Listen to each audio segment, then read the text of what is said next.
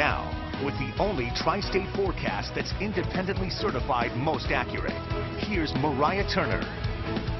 All right, well, who's tired of the cold weather? We've got some changes on the way. I yes, am. I was waiting for that. We do have changes on the way. We are warming up this weekend. Hope you have some plans to get outside because it's going to be nice. It's going to be dry. Satellite radar right now showing us some overcast skies, but you can see some breaks in the clouds over near Indianapolis. Good news is we have the potential for that later on today, this afternoon. We could see some peaks of sunshine before the day ends. Those overcast skies going to be a little stubborn though, but we should see some sunshine. Right now, News 5 radar showing us dry conditions. So although it's a little cloudy, a little gloomy outside, we're dry, and that will be the case for the rest of the weekend, really. High pressure sitting off to the northwest.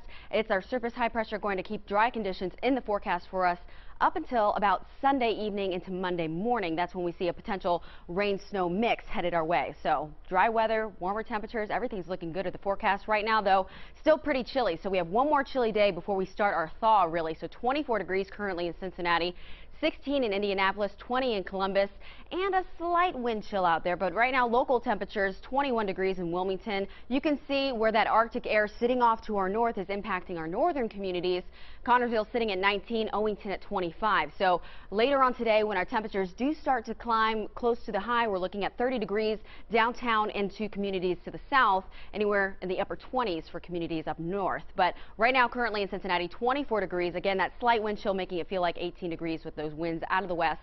5 miles per hour, overcast skies, and that'll be uh, the story for the most part in the early hours this afternoon. We'll make it up to about 25 around 2 p.m. and then our temperatures slowly climb. We do see some sunshine before our Wednesday ends, and then cool temperatures as we hit our overnight hours. We're looking at overnight lows in the teens. So you got to brace for that. And then we do see warmer weather heading our way. Not much to show you on Futurecast though. We do see some light passing clouds overnight tonight.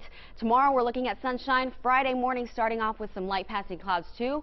Then sunshine. So a good decent amount of sunshine on the way for Thursday, Friday, and the weekend. But today expect that high around 30 degrees. Again, downtown and south, anywhere up north could see highs in the upper 20s. So some sunshine before the day ends though. Overnight tonight it will be cold cold. You'll want to bundle up as, as you're leaving the house tomorrow morning. We'll be starting off around 18 degrees under partly cloudy skies.